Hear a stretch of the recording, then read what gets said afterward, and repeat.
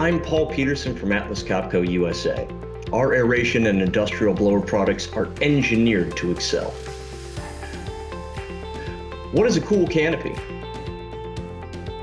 A cool canopy is an enclosure designed to protect your rotating equipment from its worst enemy, heat.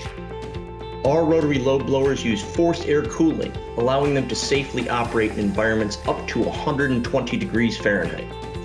On blowers with integrated VFD controls, a separate filtered cooling air intake allows you to maintain control of your process even if you're feeling the heat. Our cool canopies exhaust the heat from the blower and controls through a common discharge.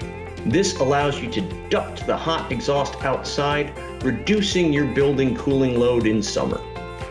Air from the blower relief valve is also ducted out of the canopy. This keeps your equipment cool even when the pressure is high. The Cool Canopy is another innovation from the home of industrial ideas.